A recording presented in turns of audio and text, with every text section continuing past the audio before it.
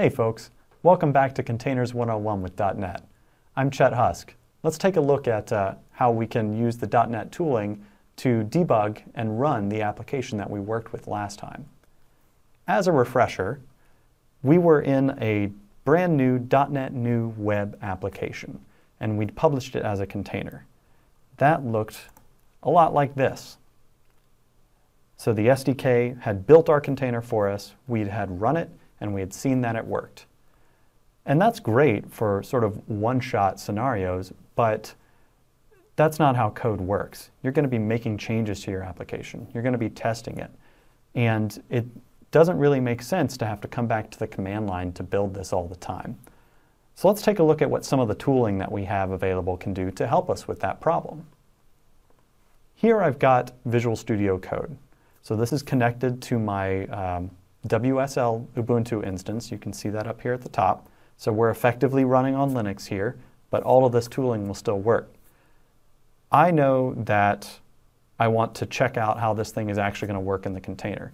And so what I can do to do that is actually just press F5.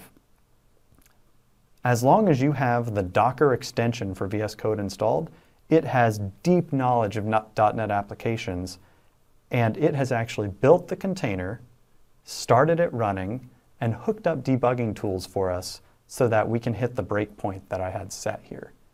That was one button press, and the tooling did all of that for us. If we want to, we can actually go to the Docker tab on the left here, and we can see that the container web app container is running.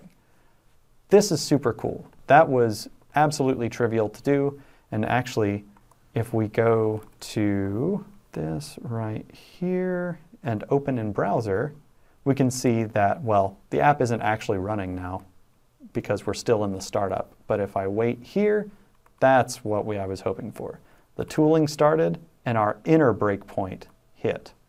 We can see that we've breakpointed on hello world here, and if I hit F5 again and come back to the browser, we can see that exact same behavior that we saw before. And just to prove that this isn't a fluke, I'm going to change this to the whole world and just really expand the scope of our greeting here and run this one more time. So just like before, you can see the tooling calling a very similar publish command to what we did on the command line before starting the application. So let's skip past these breakpoints again and boom, we've hit that same spot again with zero effort. I love this. This makes it so easy to iterate on an application and test it in something production-like. .NET is cross-platform and, and very good at that these days. Um, but when you're developing on Windows sometimes, it can really help um, sort of simulate what's going on in production to be able to actually run your app in a container. So tooling like this really helps bring that, uh, that bar down. So if the tooling can help us uh, run, that's super great. But this was a very straightforward container. We're not doing anything special here. How do we customize this container? What are the kinds of things we can do with it? Well, the tooling is pretty, uh, pretty flexible in this regard. So far, we've just been publishing containers for an application that is deployed as framework dependent. And as a result, if we go to Docker and we look at that container image, we can see it's quite large. It's 300 and some odd megabytes expanded on the disk. It's smaller compressed, um, but that's still quite large. And that's because we're including the whole runtime, we're including ASP.NET Core. The .NET SDK tooling can actually help you a lot here if you go to your project file and you make a couple small changes, like opting into trimming, like this, and then republish, we can see, got to keep your slashes in there, we can see a few dramatic changes to the container that we're going to get generated here. First thing that we see, the tooling is optimizing the assembly for size and then building with a slightly different base image. Whereas before we were building with the ASP.NET base image, Now we're building with the runtime deps image because when you trim, you bundle the runtime with your application. Let's take a look at what impact that has had on the container overall. So here is the latest container that we just built. We went from 320 megs to 217 all told. That is a pretty massive change. So most of that is coming from the base Ubuntu image that we're building on, and then the .NET uh, dependencies that we have, like OpenSSL and um, ICU and the time zone data. These are things that enable things like localization. Most applications need those, so I think this is a pretty fine balance to, to have.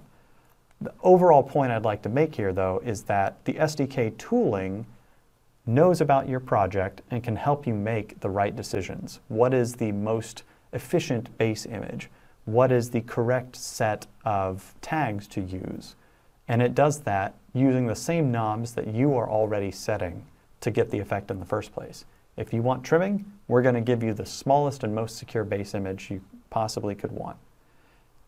From there, you can do a few additional things too. Um, you can choose a different base image that has an even smaller OS.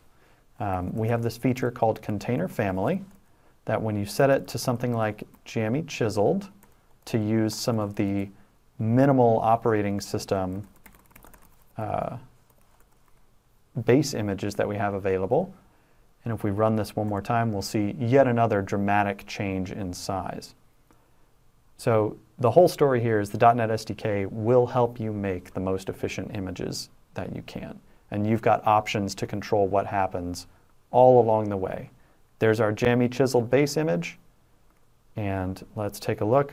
Boom, 56 megs. Let's look at why that is. It's because we are using a very, very minimal install of Ubuntu with no additional packages. Super cool stuff, and the SDK has got you covered all the way. So we saw that VS Code could run that, uh, uh, that Docker container, but what if we can't use the .NET SDK to build our image? And there are reasons for that. What if we need a special package from the Ubuntu package repositories that we need to run apt update to use? Well, in that case, we can use some of the existing tooling in VS Code to actually create a Docker file for us to work off of. So we're going to choose to generate the Docker files for our project.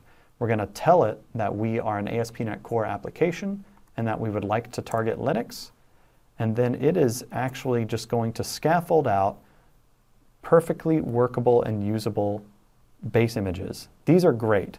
These are a great place to start working from. So because we're an ASP.NET application and because we're targeting .NET 8, that was scaffolded for us. You uh, have here what's called a multi-stage container, which is where the build happens in a .NET SDK container and then your build output is copied into what's called a publish container, which is a minimal, no extra dependencies container. This is similar to what the .NET SDK does, but with more steps in the way. The upside to using this is that you can add any run commands you need to build or to uh, acquire additional dependencies that you need. So this is the, the low-level full control mode. So uh, you can also use the Docker tooling to build in this way as well when you're in VS Code. It works just as easily. Same thing, just F5 and follow the prompts. So that's VS Code, but I know that a lot of folks are still very comfortable in VS. And have no fear, we've got your back there too. This is the same kind of project. It's a web app that was created with .NET New Web that we've loaded up into Visual Studio. If you want to run this, you can just go to right click Add Docker Support and have the same kind of choice that uh, we had in VS Code. So if we choose the container build type of the .NET SDK, and then we debug our container Dockerfile mode, Visual Studio will build the application as well, or it would if there weren't build errors. Oh, I chose the wrong mode. That, that would help. So let's choose the .NET SDK mode and try again. So now we can see it building the application, and it's also going to call that same publish command to create the container, and then launch the app. We can see we're in debugging mode, and in just a second, we'll hit our breakpoint. Just like in VS Code, the experience works seamlessly. And also just like in VS Code, if you need to eject, if you need the raw control that Docker files provide, the tooling's got your back there too.